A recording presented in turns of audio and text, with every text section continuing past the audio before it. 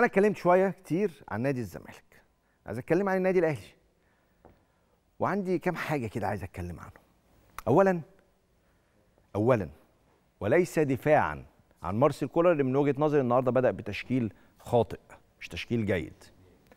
بس أنا أتمنى من السادة المتابعين المحللين الجماهير إن إحنا نحلل مباراة اتنين تلاتة. يعني مثلا تقول لي إيه كولر بقاله مباراتين تلاتة مش جيد.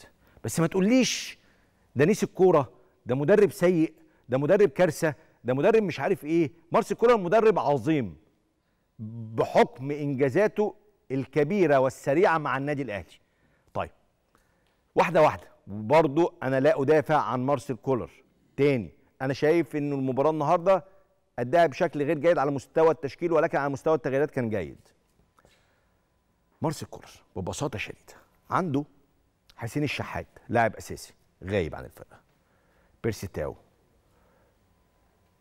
بتتكلم في إمام عاشور. بتتكلم في ياسر إبراهيم. بتتكلم في محمد الشناوي. خمس لعيبة من القوام الأساسي للفريق غايبين للإصابة. خمس لعيبة مهمين جدا. خمس لعيبة تشكيلة أساسية. آه ده نسيت كمان أليو ديانج حط عليهم ستة كده.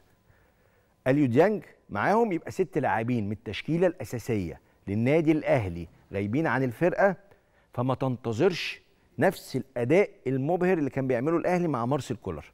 هتقول لي يا عم عادي الأهلي مليان لعيبة هقول لك ريال مدريد مليان لعيبة مانشستر سيتي مليان لعيبة بس مانشستر سيتي لو غاب عنه هالاند وكيفن دي بروين ودياز وإيدرسون ورودري هيتأثر.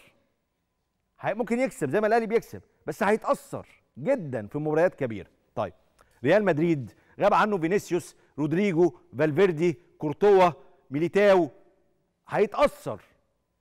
فبس أنا بحب الأمور تبقى منطقية وذكية.